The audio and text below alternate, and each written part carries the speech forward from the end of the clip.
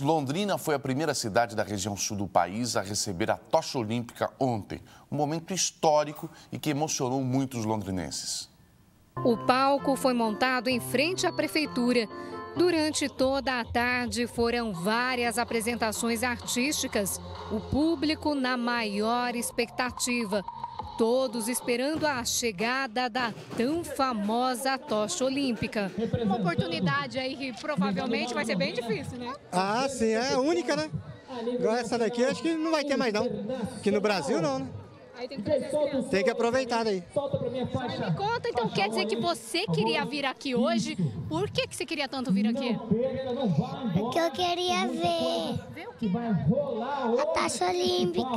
E essa expectativa toda se justifica. É mais do que algo inédito por aqui. É também a primeira vez que um país da América do Sul vai receber uma edição dos Jogos Olímpicos. A Prefeitura de Londrina investiu R$ 44.600 nesse evento. Na verdade, a prefeitura não, não investiu recursos para atrair a tocha, mas assumiu a responsabilidade da organização através de um processo licitatório e que finalizou em R$ 44.600, que serão é, pagos a três microempresas locais que estão prestando serviços de instalação de palco, de, de rampas, de, de plataformas de segurança, banheiros químicos, etc. E o legado que fica, qual é? É essa mensagem importantíssima né, da, da prática esportiva, do espírito olímpico. A previsão de chegada de Assis, São Paulo, era às 5 horas e 38 minutos da tarde. Mas houve um atraso de uma hora e meia. A chama olímpica foi recebida com aplausos e também protesto. Edivino Correia, gari e maratonista, foi o primeiro a carregar a tocha olímpica. Ele percorreu 200 metros e repassou a chama. Foi assim pelos 13 quilômetros de percurso por várias ruas e avenidas da cidade. Atletas profissionais, amadores, amantes do esporte.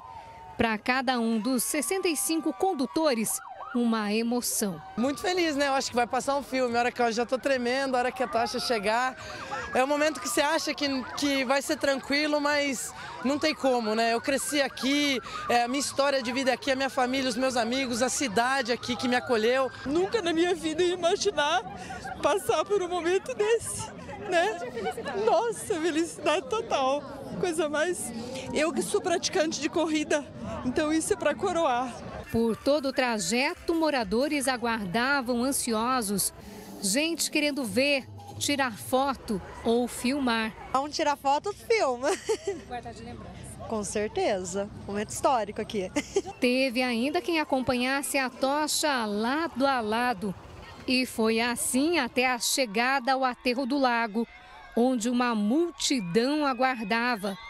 Fim do trajeto para um ato simbólico, o acendimento da pira olímpica. Depois de apagada, a chama foi guardada para seguir viagem pelo país. E vai ser assim até o destino final, Rio de Janeiro, no dia 4 de agosto.